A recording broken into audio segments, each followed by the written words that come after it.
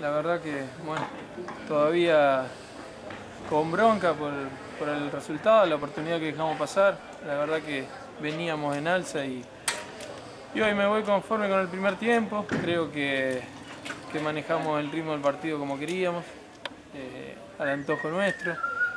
Eh, circulamos bien, llegamos por afuera, pero una desconcentración creo que la única en el primer tiempo te hacen el gol, no te perdonan y después lo que hablamos siempre, cuando, cuando te hacen un gol tempranero, después tenés todo el partido para cuesta arriba, haciendo todo el esfuerzo y ya después en el segundo tiempo se entra a sentir el cansancio y, y se hace difícil. Lo mismo nos pasó cuando nosotros arrancamos ganando, el, el rival no pudo darnos vuelta resultados. Hoy en, hoy en día en el fútbol es así, y bueno, nos pasó, tenés que empatarlo rápido, no pudimos aprovecharlo y, y bueno, ya después desarmado y desordenado vino el segundo. El primer cambio fue obligado, el segundo cambio entró el negro eh, por Jonás, que por ahí hizo mucho esfuerzo, está, está, jugando en un puesto que no es natural de él eh, y se, se desgastó mucho, entonces teniendo un jugador como el negro en el banco, quisimos a lo mejor con aire darle otro ritmo eh, por el medio, salió Jonás y después bueno ya el último cambio fue arriesgar,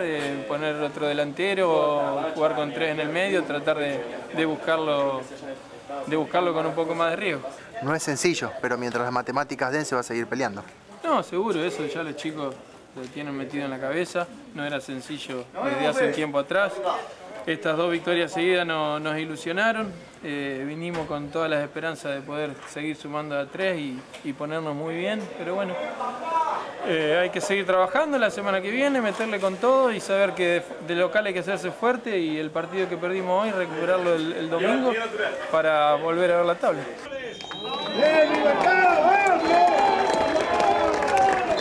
Final del encuentro, final del partido aquí en el Raúl J. Velarde. Ganó Libertad de San Jerónimo por 2